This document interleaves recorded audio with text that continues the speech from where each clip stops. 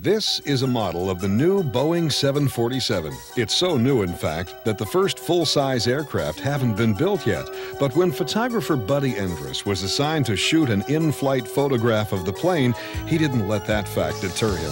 His assistants created a set that was deceivingly simple. Cinder blocks, plywood, three inches of water, and 50 pounds of dry ice were ingeniously combined to create an amazingly realistic special effects photograph.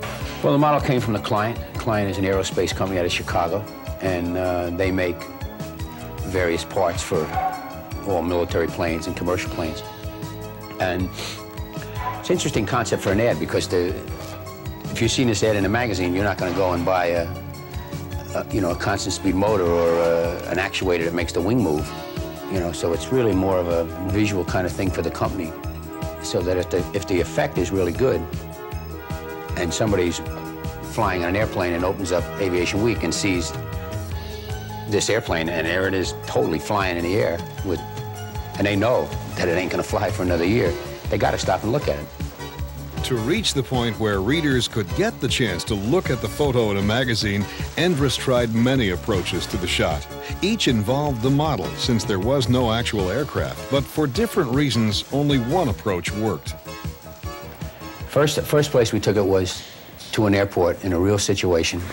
Uh, hung it, hung the plane from monofilament, and waited for the sun to set behind it. And the biggest problem was, as soon as the sun starts to go down and the wind starts to pick up, the plane's blowing all over the place.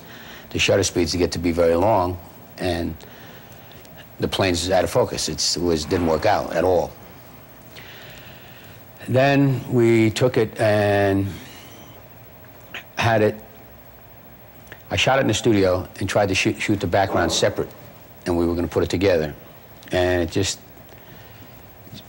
just, it just never works. It just never came off as being a total thing.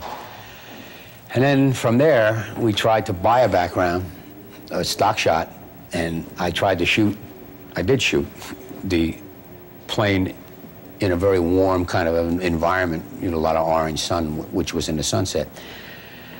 And that was still not 100%. And so we wound up with working with the dry ice and working uh, in a total controlled environment. Well, the, the main light is uh, a big soft bank. It's 10 feet by 20 feet.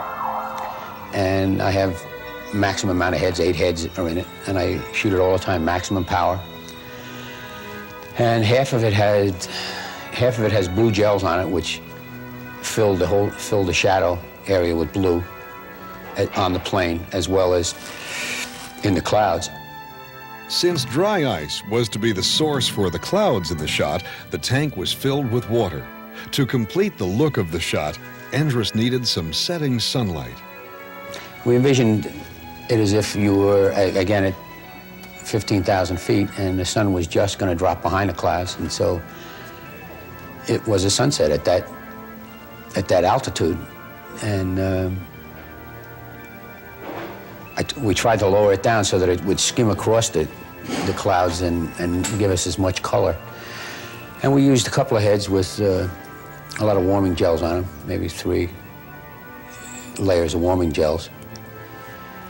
And I guess that was really the main the main light source is that is the sun because of the warmness that it has. The other part was just like the fill light. The biggest the big bank was just almost a fill.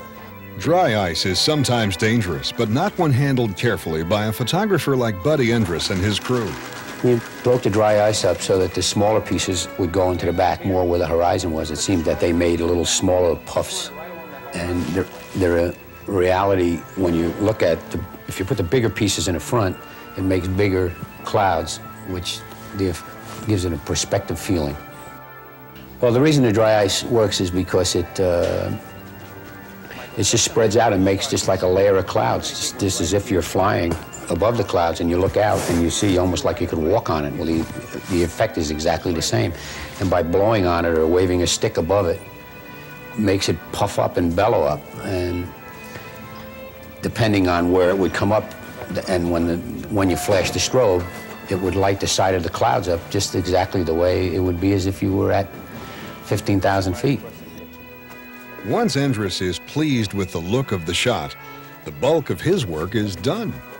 It's just a matter of, of making it just one flash and happen, you know, and you, and you see it when it happens and you flash it, and it's and it's just it's any other kind of action. It's just like any other kind of action shot that you you know you try to stop the action. The strobe stops the action, so you just got to click it at the right time, flash it, you know.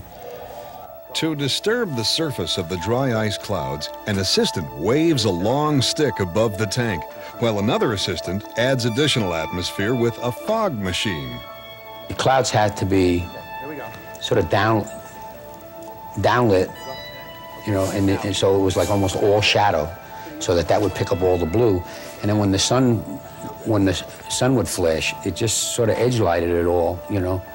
And the plane, again, is like almost in silhouette. I played down the plane because it's, it's a, only a 10 inch, I mean, a, a 20 inch model, so that it's, uh, it is not really real. You know, so you, if you show the plane too broad a light on the plane, it's going to, uh, you're going to see all the imperfections in the fact that it's a model.